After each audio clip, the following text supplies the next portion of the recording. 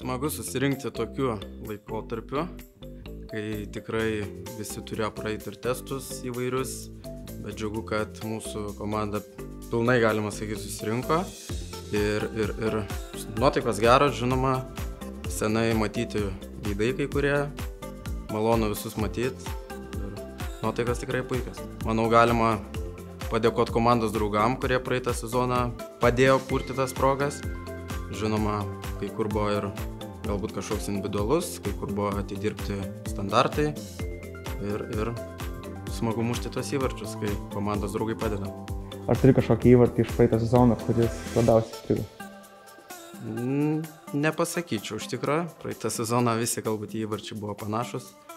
Kaip ir sakau, daug iš standartinių padėčių, o kad kažkokį galėčiau išskirti šį kartą nėra. Na, taip, čia tas pasirinkimas galbūt nebuvo toks paprastas, bet aišku, didžiąją įtaką padarė pasaulio čempionatas, bent pastaruoju metu. O šiaip e, turbūt visi sezonai buvo, kad e, vasarą žaidė laukia, e, žiemą saliai. Tai tiek žaisdamas e, laukia vasarą pasilgsti lauko, salės futbolo, lygiai taip pat būdavo ir kai prabėga sezonas žiemos, tu labai pasilgsti lauko futbolo. Bet kaip ir sakiau, šiai dienai pagrindinis arkliukas pasaulio čempionatas Lietuvoje. Tai kaip ir minėjai, netrūksta kartais po, po to etapo grįžti į, į lauką paspardą?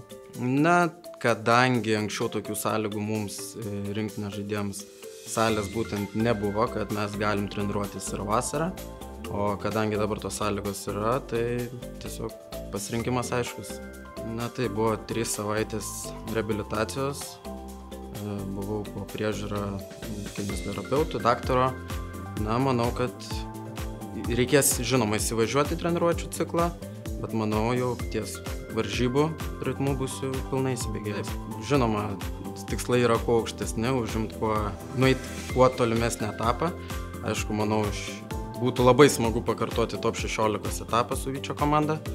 Žinome naujus varžovus Švedijos čempionus praeitų metų Hamarby klubą.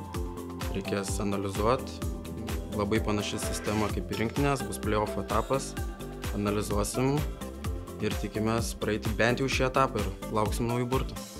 Na, manau, ir treneris yra minėjęs, kad tikrai mes, mūsų komandai, pirmos ar antros sudėties nėra. Tik žinoma, reikia pripažinti tą, kad tas bendras, bendra komanda kaip Vytis ir, ir, ir tas brandolio išlaikymas, tai yra tikrai nauda mums. Mes dirbam jau ne pirmą sezoną kartu, tas mums tikrai nauda. Ir, o nauji žaidėjai, jie tikrai stengiasi perprasti tą visą mūsų darbą, sistemą, taktikas galų gale ir kai kuriems geriau pavyksta, kai kuriems blogiau, bet žinoma, viskam reikia laiko.